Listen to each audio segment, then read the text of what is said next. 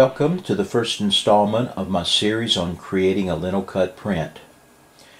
Linocut is a printmaking technique in which a sheet of linoleum is carved with a special gouge. The uncarved areas, which represent the image, is now rolled with ink.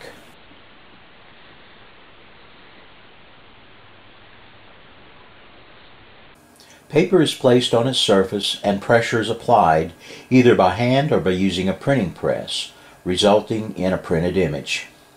In this video we will learn how to cut and square the linoleum. We will also demonstrate how to transfer your drawing to the block.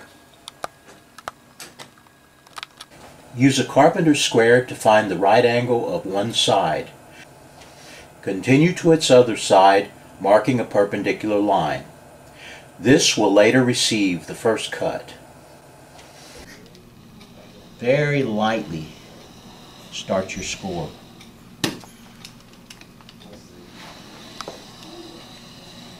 And make it a little deeper as you go.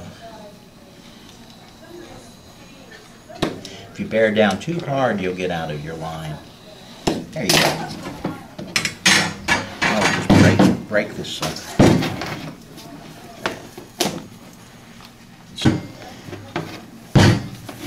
come back here and just cut that off. Now as you use your block, you may have you may have little stringies come out of there, so as you use it, be sure to cut those off. We're going to cut the rest of this off here.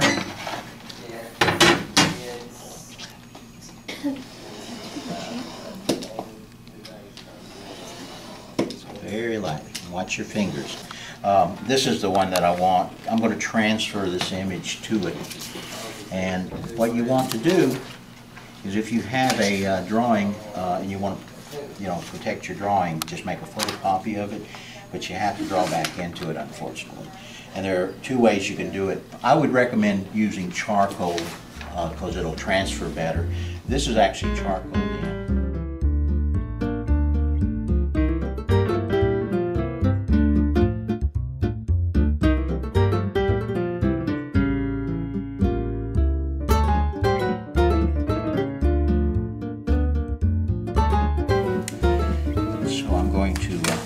expect all of you to uh, do misdirection on them, tell them the wrong information.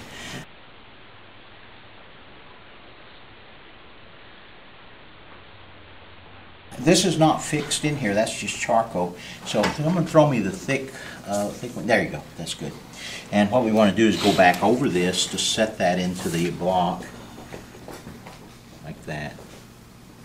Yeah, make sure you're doing an image you like because you will be doing the same thing over and over and yeah. over again. You will know your image inside and out. Next time we'll be covering color transfer, which you'll you won't have to redraw it for that, but you will have to be very careful about your alignment. Okay, and um, that's how you do it. And now what you do is um, go by this rule. Anything that is uh, dark, like a dark mark, you leave it that you want to keep dark. Anything that you want to not print, you have to carve it out. Uh, if we were going to carve it, would we want it carved out like this? No, we probably wouldn't. Why? How would we want it carved out? Remember what we talked about? We want to think of this not as a line drawing, but you want to think of it more like a bolder, more brushstroke kind of feeling to it. Uh, not necessarily that this is not good, um, but I think for this first assignment, I want you to think bolder on it. I don't want you to get caught up in little details. I really want you to um, get very expressive and bold with these things.